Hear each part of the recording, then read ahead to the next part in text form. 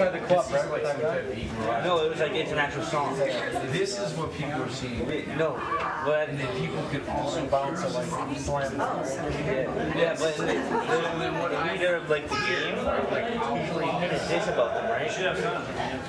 And then he was, he was at a club or something, and then the, So if you go and over the, here, one of the gang members just Like that? don't don't don't beat him out one One hand. one hit, one hit knockout. It wasn't, it wasn't, you bring? I'll jump up and look at it one second. So people are hearing. it. What you do is put these headphones on. I don't hear the music, I know I'm talking. Okay.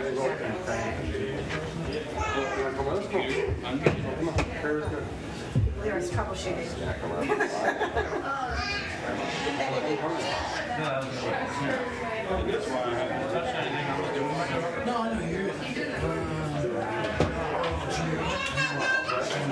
Yeah.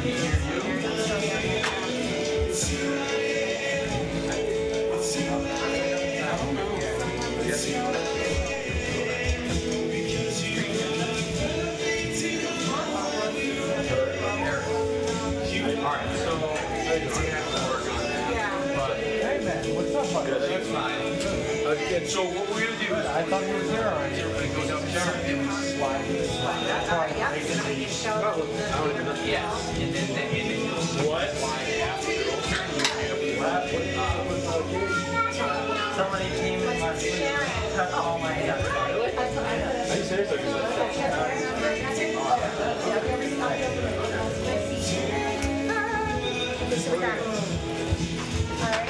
That's I need help. That's not the rest, the rest of it. How's it going? How you feeling? Yeah, right. Yeah, I was worried. Both you, yeah, right. No, I would have helped you if you asked me to help. Oh, yeah, yeah. Sorry, sorry. Good night. I sit there every day, all you have to do is say, hey, can you help me? Yeah.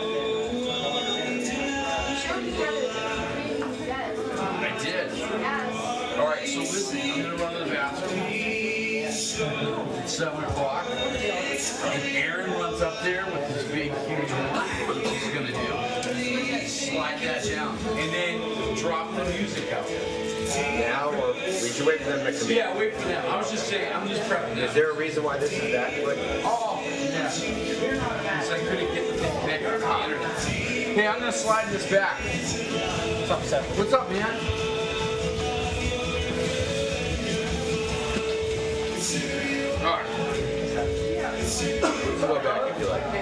Like.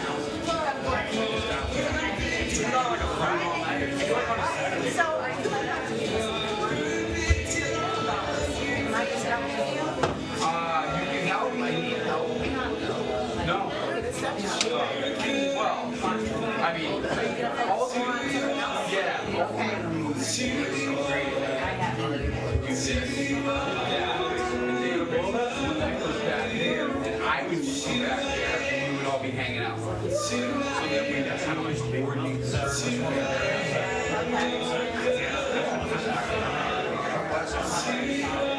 Okay, you got all of us. Nice. I need the teams. What's in them? I don't know, crazy or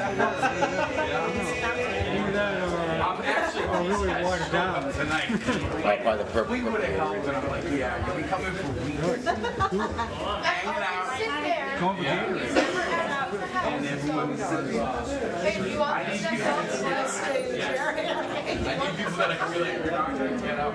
I'm like, Because some girl walked by. I never give up. I do. I I do. Yeah.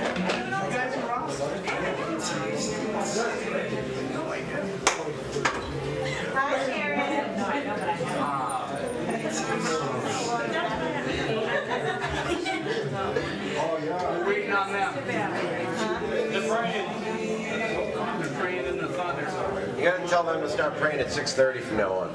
I think I You shut the sound off at 6.30, you won't have to practice anymore, they'll have to go pray. That's true, we could do that. 6.30.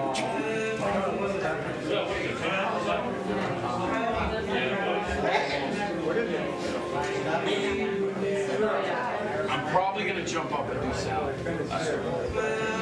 Just because. I think. I think she, I think she is gonna You can get that, you can get that. She's gonna take this. And after Sarah will take this. And then I'm Corinne gonna, I'm gonna stand up and be over here.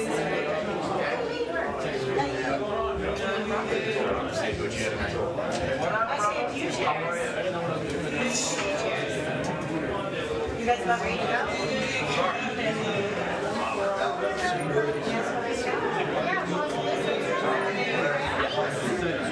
dropped off the paper.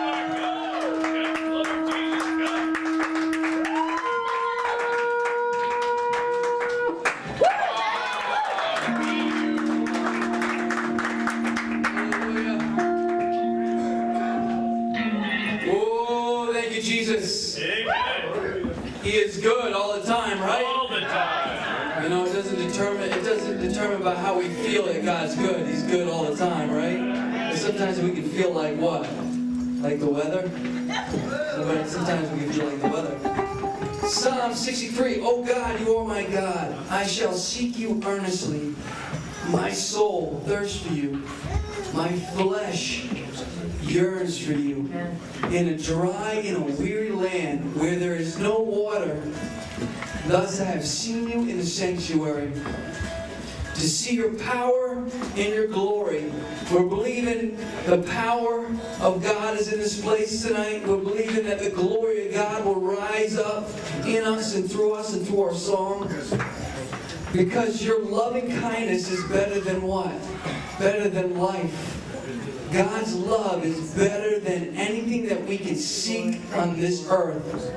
God's loving kindness is better than silver. It's better than gold. It's better than the TV. It's better than the PS3. It's better than the limo. It's better than the city lights. God's love is better than life. Amen. My lips will praise you. Anybody in here gonna praise God tonight? their lips? Hallelujah. I know sometimes the flesh. Do you know that the flesh does not want to worship God? It doesn't. It just wants. It doesn't want. That's why we have to. We have to sacrifice this flesh. This flesh. We have to put it under submission. I will lift up my hands in your name. In Jesus' name, my soul is satisfied as with marrow and the fatness, and my mouth offers praises with joyful lips. God, we thank you that we're here tonight. God, we expect the unexpected. We don't come into this place religiously, just doing another ceremony, just doing our tithes and our offerings and striving like we have to earn our salvation. It is a free gift, God, and we come to you tonight and say thank you for that free gift. In Jesus' name, amen.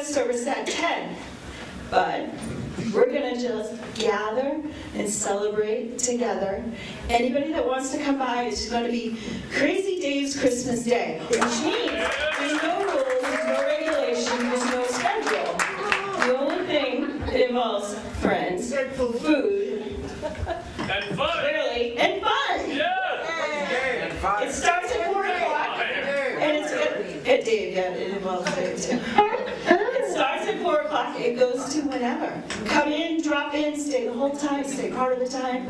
Come in after you've been with family, and be with more family. So it'll be a little bit different, not a regular service. It's all about to crazy Dave. And look guys, they let him out of the box.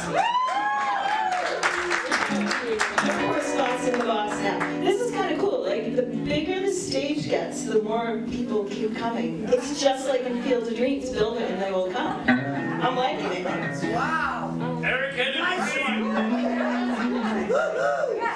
So here's the scoop. Next Friday, not Christmas Day Friday. Sorry, the Friday after that is First Friday. So New Year's Day is First Friday. We will still do our regular service at 7. We'll still have our regular fantastic food after service. But in addition to that, at 2 o'clock, we'll start some prayer time up here. 3 o'clock, there'll be a roaring fire going to keep us warm outside. To hang around, there'll be some tasty victuals grilled up to pre-eat. Well, I guess once you eat, they're done. Okay, so we get to eat twice on New Year's Day. That's the way we're starting. Your New Year's Eve, uh, whatever that promises that people break, you can start that the next day. So, we're going to be downstairs. We'll be up here praying from 2 to 3, and whenever that goes to. But downstairs, come anytime after 3. We'll be grilling, we'll be deep frying, we'll be doing all kinds of things to meats. Uh, our normal that eat. Oh my gosh, I should have roasted. So, um, here's the thing. And cute. If you can, bring your own chair for downstairs. Clearly, we have plenty of chairs up here, but downstairs, you have a folding chair, outdoor chair, just bring it with you. Come hang out, have fun. And let's see, we do need two more helpers for childcare. We've got some people that we're trying to rotate in because we'd love to get our childcare people to be able to be in the service at least once a month. So if there's two more people, they don't need to be teachers, just helpers of the teachers. That would be awesome. You can see me or Stacy. On your way out the door, there's some papers there. If you guys can all just sign that and put a small greeting onto each one of those. I don't want to say what it is because some people out there in the electronic world will be receiving.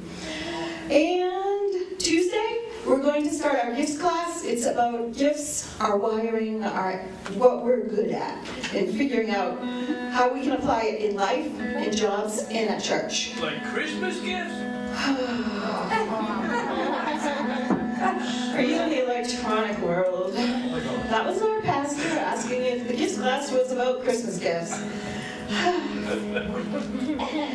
And, oh, Saturday and Sunday, if anybody wants to help out, we're gonna be moving like our garage and some of our other stuff, just a, a slight pre-move around ten o'clock each day. If any, you know, if a couple people wanna come, that's awesome, but we're getting some of this stuff out of there. Because the Sunday after Christmas, we have to do our final move. So that's actually all I can think of. We're not doing the regular what's on what day because nothing's normal this week coming up. Not that things are that normal, I Broken Chains. Anyways. That's it. We're But I happy am, normal. I am now tagging in my sister, Louise. Get in there. That's your name. Ushers. May I have the ushers up to the front, please?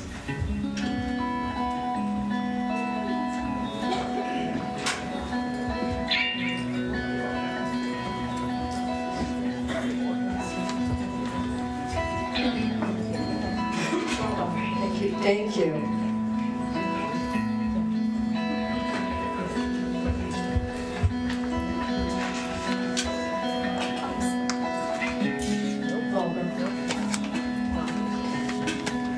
So now it's time for tithes and offerings, and Lord God, we thank you so much, Lord, for how good truly you are to us, Lord. You are a good God. You are a faithful God. And Lord God, the joy of you, the joy of the Lord is our strength. So no matter how you feel tonight, even if you feel a little just tired and just down, just give it to Him. Give it to Him. Give it to the Lord and say, You, Lord God, are my maker. You are my refuge. You, Lord God, are the lifter of my head. And I look up to you where my help comes from. And Lord Jesus, we thank you for all that you give us, Lord. We're giving back to you, Lord God. We're giving back to you. And Lord God, we do know, according to thy word, when we give, and we give with a joyful, joyful heart, it is always given back. Pressed down, shaken, pouring over. You're going to be blessed. My brothers and sisters, I can tell you you're going to be blessed. Have the faith and trust in God. Don't even question. Even if you think you can't pay that bill, give it and watch what happens. Watch how God moves in your life. And I pray that all of you will receive that in your hearts and know that your God is the same yesterday, today, and tomorrow. Thank you. Thank you, ushers. In Jesus' name, amen.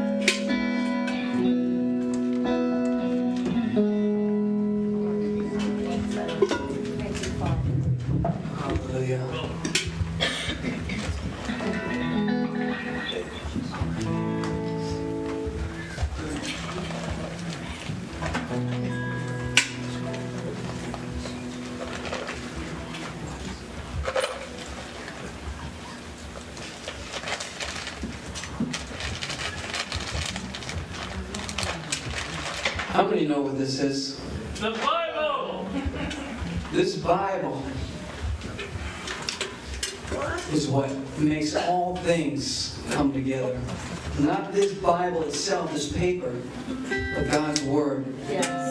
Yes. Thank you, Lord. We'll pray over it right now. Thank you, Father. Lord, we thank you for the offering you've given this church. Yes, Lord. God, if anybody feels like, why are they talking about money? This is weird. This is like a business. This is not a business. This is the good news. This is the gospel. This is your. This is everything that we have has been given to us, Yes, Lord. and we give it back.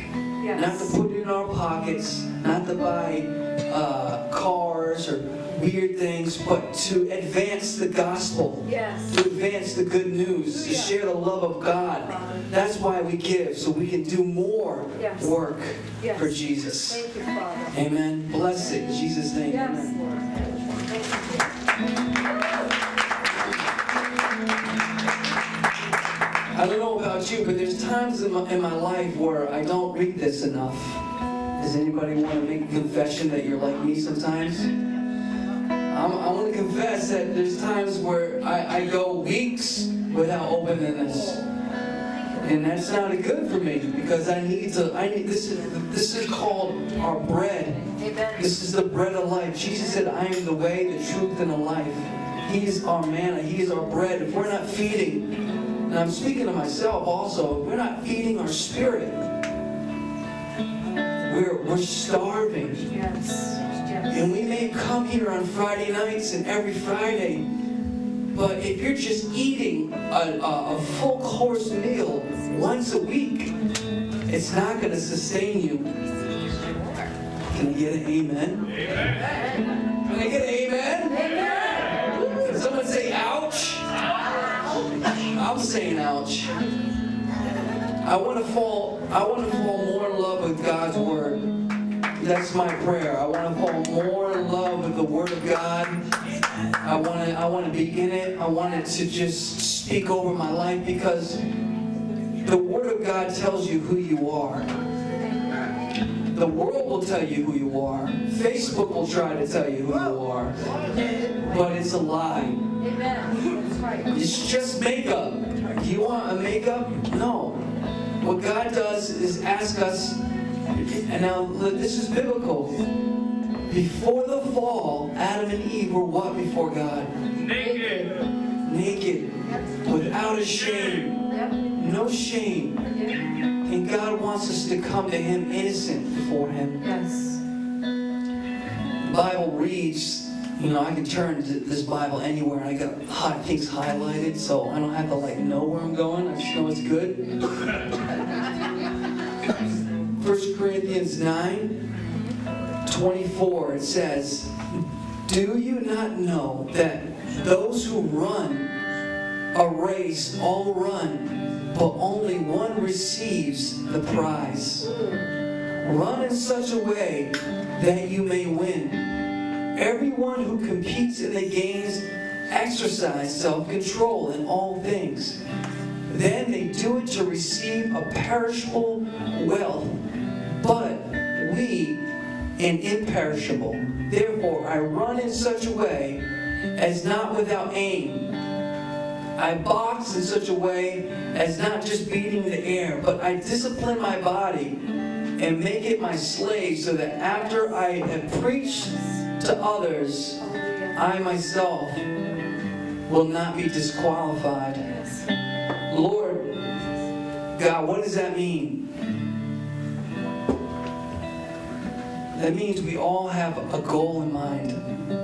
And it's not a goal that is, is, is for wealth. It's not a goal to just be secure. It's bigger than that. What is a hundred years compared for all eternity? Amen. Amen. What is it? Just a hundred years and your eternity, eternity with Jesus forever. Mm-hmm. You're, this is just a fleeting memory. So let's, what we're doing right now is building our faith to where we're going to go tonight.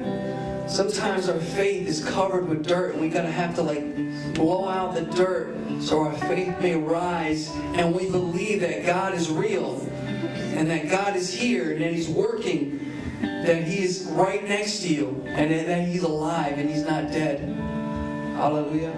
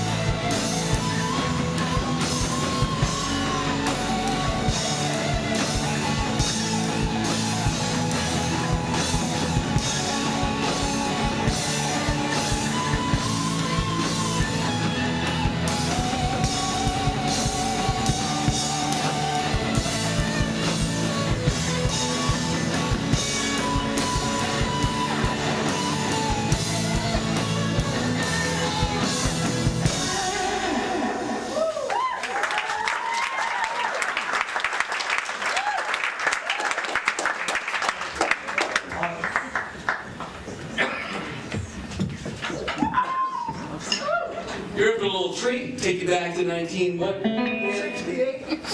68. You got the word, you know word? Somewhere over here? I hope so. We're gonna do something fun. Always. There's that capo right before. Yeah, I don't know what you're gonna do. You know the song by heart, right? You gotta give it an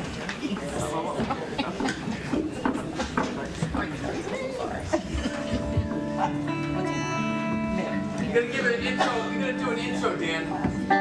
Why are you're doing a song. Yeah. Yeah,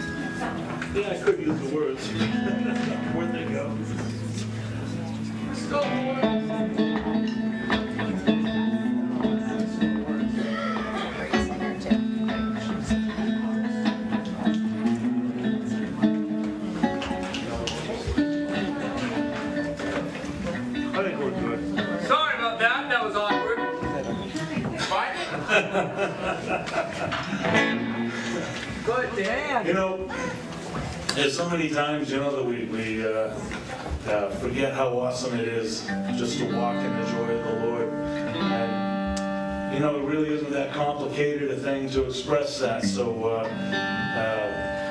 uh, sometimes it's good to just say to Jesus, you know, it's just nice to be with you. And that's the spirit of this song, so we hope you enjoy it.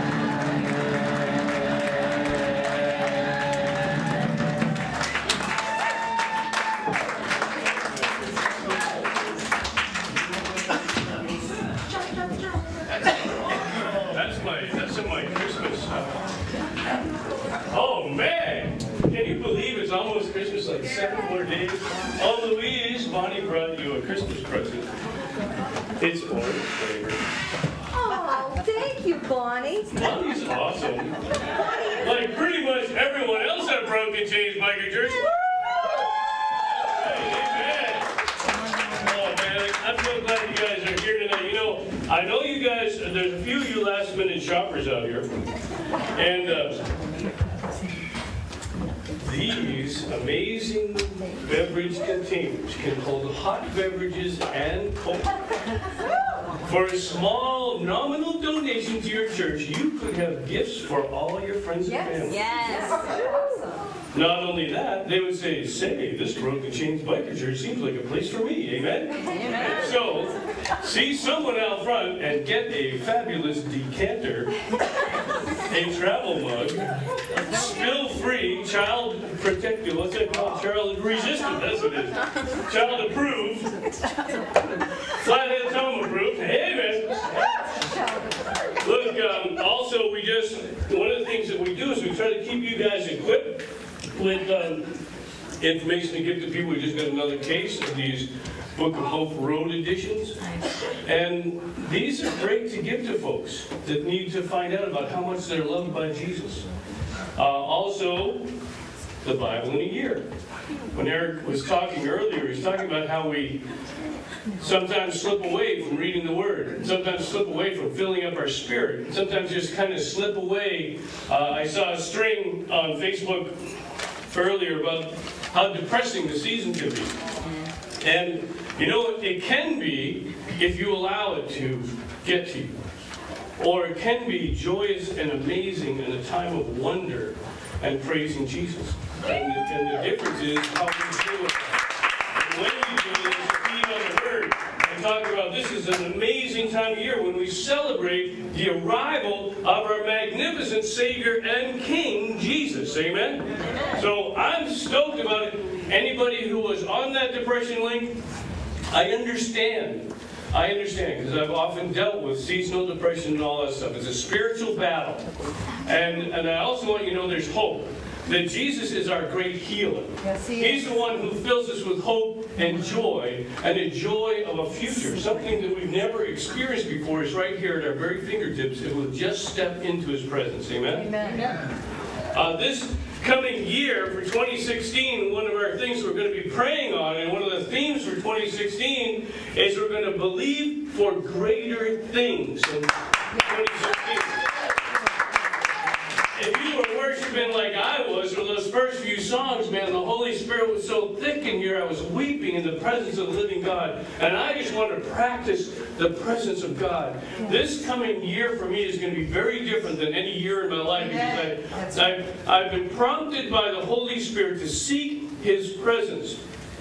And maybe forsake all the other stuff that keeps me busy. Mm-hmm. Like Murder, She Wrote, and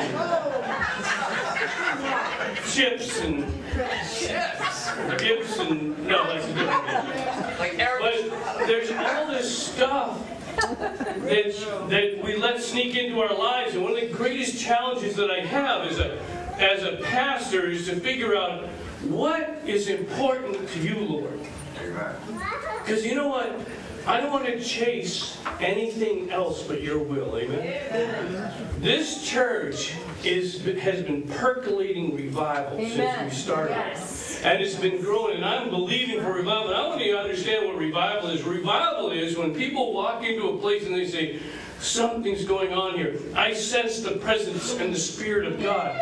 I feel like I just got to unburden myself. I feel like I want to lay down in a big revival, really big ones, people come up with their porn, their drugs, their nasty stuff, and they lay it at the altar in repentance, and they cry out, God, forgive me. Jesus, forgive me. Be my Lord and my Savior. Be my King. And in revival, the Spirit of the living God gets on us so much that we can no longer resist Him. We just got to come up and empty our pockets of all the sin stuff and get on our face before Jesus and say, I just want to be yours. Yeah! So I'm believing for that size revival. I'm looking forward to having a pile, well, I, this is a weird thing to say in church, but a pile of porn, and a pile of drugs, and a pile of syringes. I'm looking forward to having all that crap that we allow ourselves to be sucked into, to be laid on the altar before Jesus Christ, and be cleansed and filled with the Holy Spirit that overflows. I don't know what you're believing for for 2016, but I'm believing that addiction is broken. I'm believing that our children are saved. I'm believing there's an outpouring of the Holy Ghost in this place. I'm believing for miracles and signs and wonders to continue to manifest in a level that we never expected. I'm expecting kids that have been filled all that, you know, my son Rob used to listen to this horrible music, this Slipknot and all this, all it says is kill yourself, kill yourself, kill yourself. And then all of our kids are saying, I think I'm gonna kill myself. I wonder why. Because they're filling their heads with stuff from Satan saying you're worthless and you're lousy and you don't deserve any life. You're no good, you're never going anyplace. But all the while, the Holy Spirit is saying, come, come to salvation. Come to where the hope is, come to the light. Come, I'll forgive all that nasty stuff that's weighing down. Oh, glory to God. I'm getting ready to preach. I'm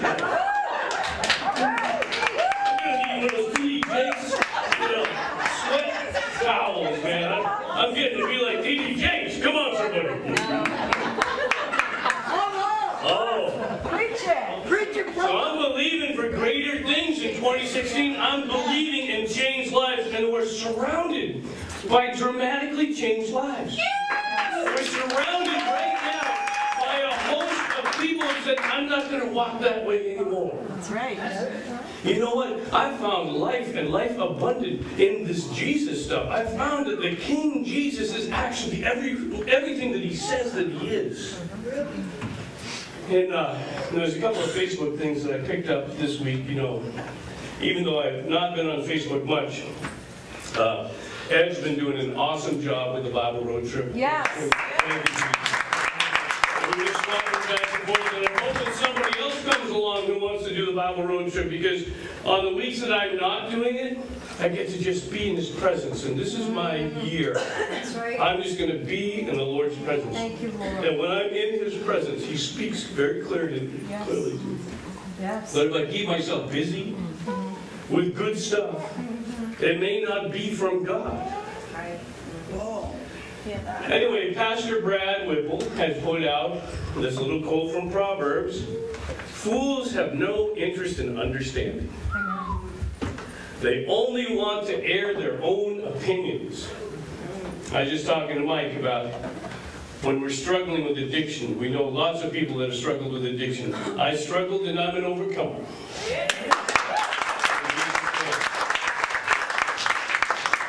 And when we struggle, I can't tell you how many times I dealt with someone in addiction who said, I'm just going to figure it out for myself. Dude, you, you've already reaped that harvest.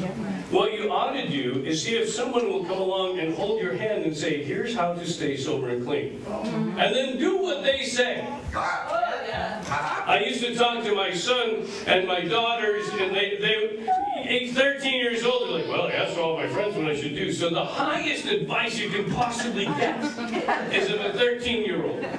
I'm just saying, there's probably someone who's been there. Our son Rob, who's not here tonight, but I wish he was, but um, he was he had gone to a, a detox at some point in his struggle, and he went to this detox, fully planning to go to teen challenge. But while he was there, repeat detoxers said, no, dude, that doesn't work. Follow us. And he went to jail some more. Because he followed the opinions of people who are not filled with the Holy Spirit. Right. Great news. He's been sober and clean over two years now. Completely turned his life around.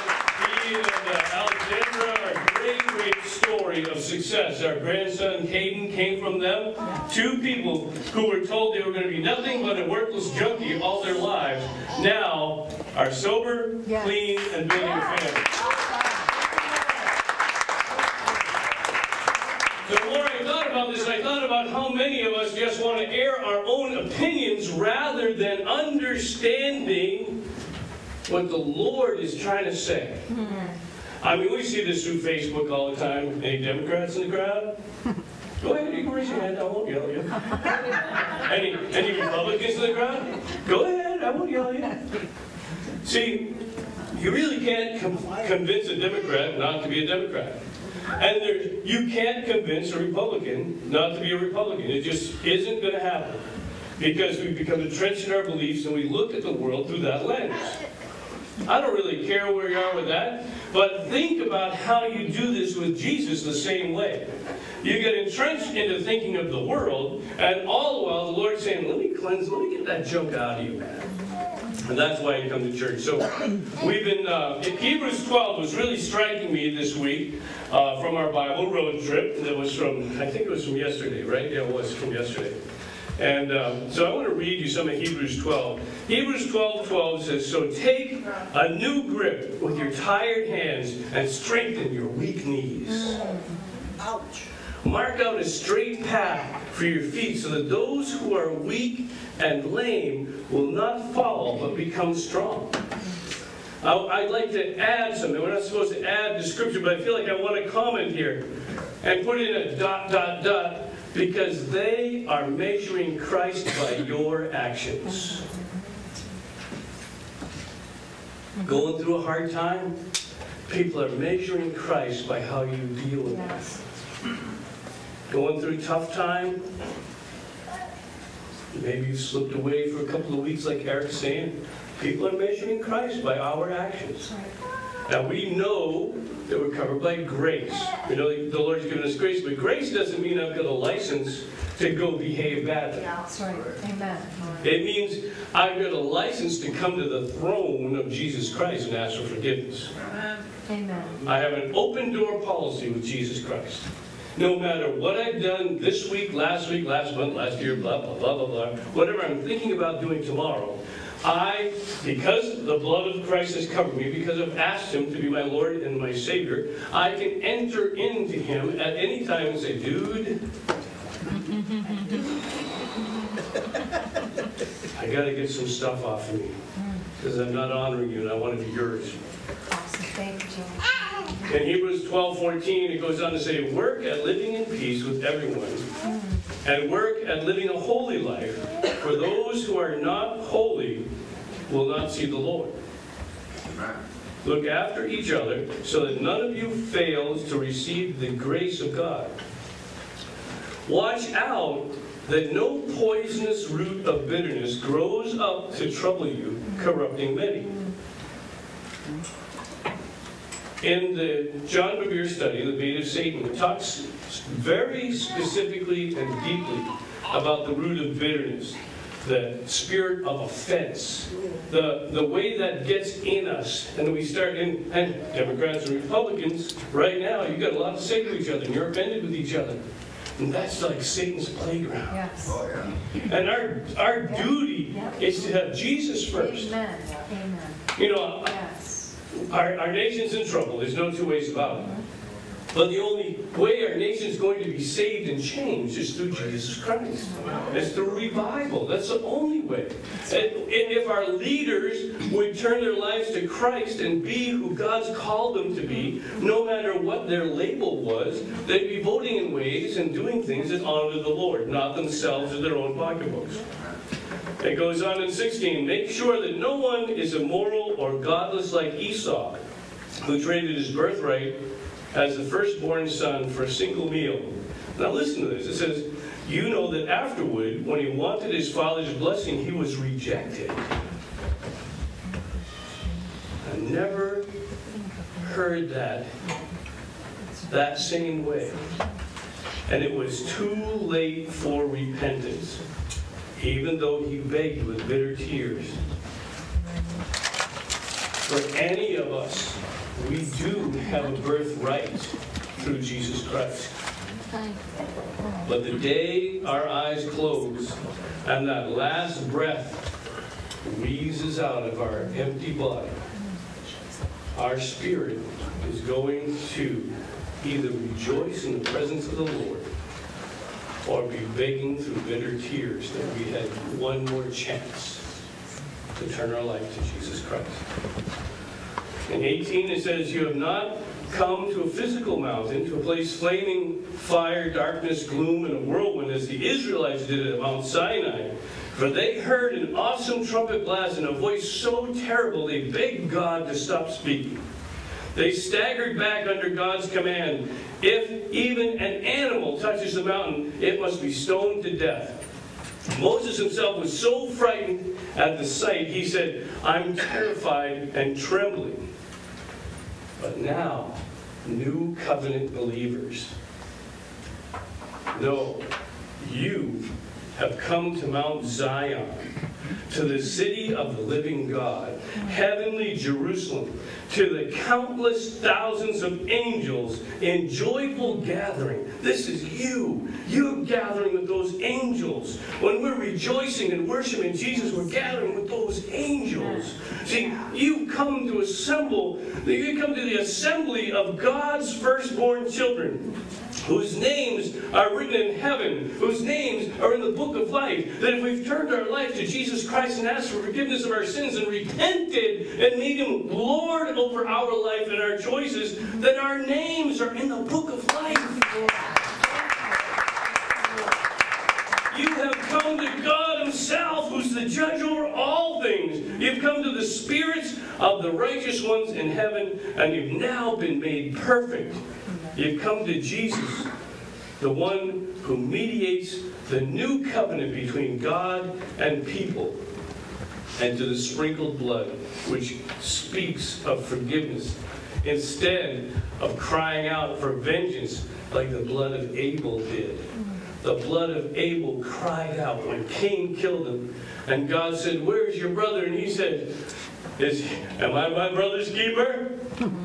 But the blood of Abel cried out, and Cain was punished.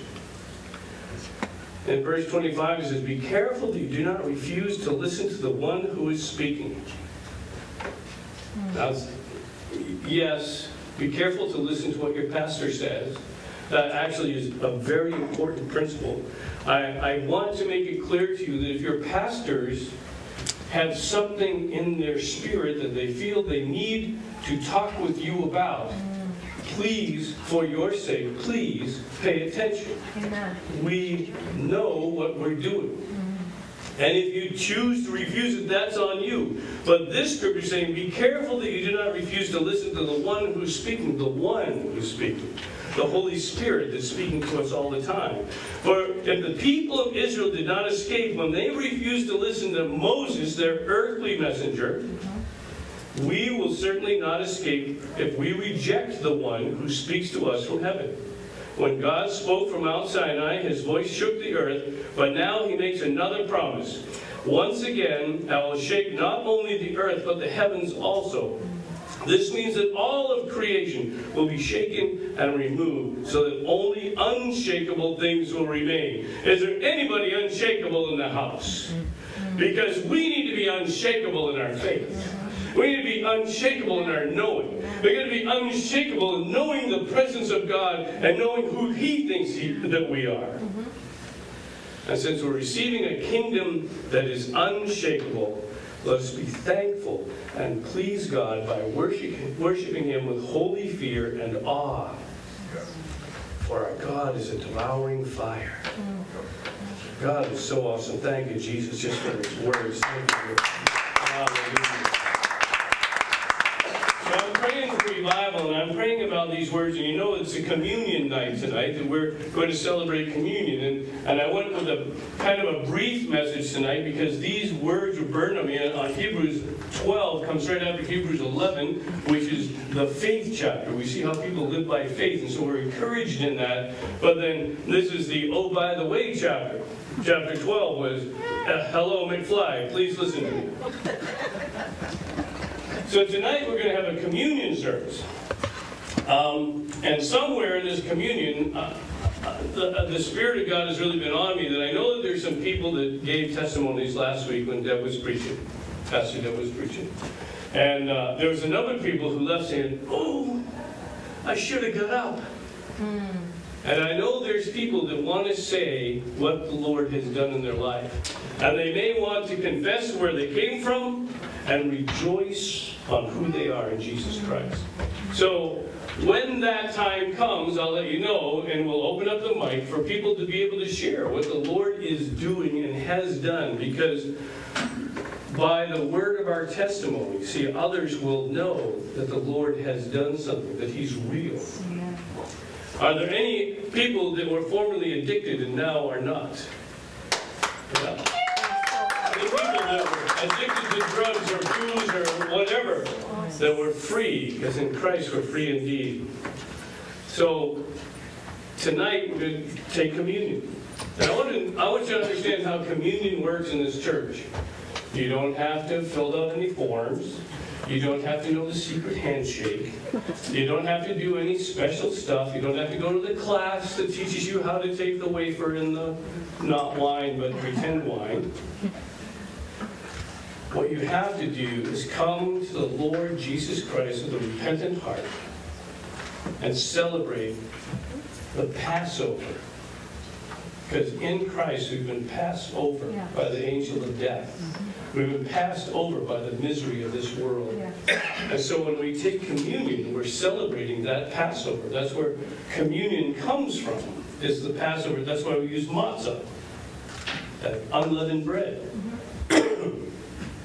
So as we celebrate the work of our Lord and Savior during this communion service, think back 2,000 years ago to the first, the very first Lord's Supper. And we celebrate today in much the same manner as they did long ago. They were in an upper room, we're in an upper room.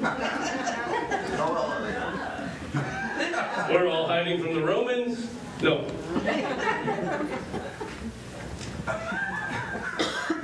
So we celebrate today in much the same manner. And then come,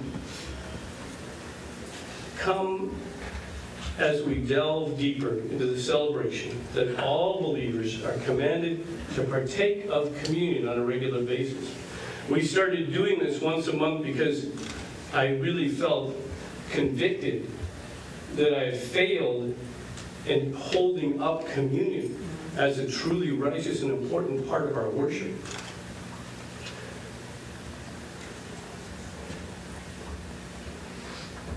And as we look into the communion, we're going to look at three different perspectives. The past, the present, and the future. Excuse me. What Jesus did for us is of eternal importance. The importance spans the past to the present and into the future. And tonight we're going to look at the Lord's Supper from all three perspectives. See, communion in the past, when we think about the past, the past is always behind us. We can't change a lick of it. But it can guide us towards the future. We can learn from our successes as well as our failures. Do not, be, do not let the past paralyze us. The words of Scripture are just as applicable to us today as they were when the Apostle Paul wrote 1 Corinthians 11. But in the following instructions I cannot praise you, for it sounds as if more harm than good has been done when you meet together. First, I hear that there are divisions among you when you meet as a church. And to some extent, I believe it. But of course, there must be divisions among you, so that you who have God's approval will be recognized. That's not an approval of division, but it is an explanation. When there is division, if there's a division in a group, there'll be fruit in one place or the other, but not usually both.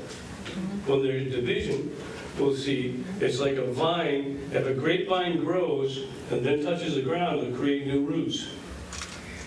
And those new roots, the old vine can die, but the new vine comes back to life. And where there's fruit, there's life. When you meet together, you're not really interested in the Lord's Supper. For some of you are in a hurry to eat your own meal without sharing with others, and as a result, some go hungry while others get drunk. What? Don't you have your own homes for eating and drinking? Or do you really want to disgrace God's church and shame the poor? What am I supposed to say? Do you want me to praise you? Well, I certainly will not praise you for this. Now, when he says things like you got drunk, we know that they served real wine. And we also know that communion was a meal, kind of like First Friday. Big fan. It was a whole meal, but there was a bunch of people going up and hogging all the food. And this is why we have servers, so that the servers will regulate our portions and the food will make it through the night. Otherwise, people like me might pile a mountain of food onto our plate and say, oh, Frank, sorry, man. Yeah. For I pass on to you what I received from the Lord himself. On the night that he was betrayed, the Lord Jesus took some bread, and he gave thanks to God for it, and he broke it in pieces and said, This is my body which is given for you. Do this to remember me. In the same way, he took a cup of wine after supper, saying, This is the cup of the new salvation, the new covenant between God and his people. An agreement confirmed with my blood. Do this to remember me as often as you drink it. For every time you eat this bread and drink this cup, you're announcing the Lord's death until he comes again. Now listen. So anyone who eats the bread or drinks of this cup of the Lord,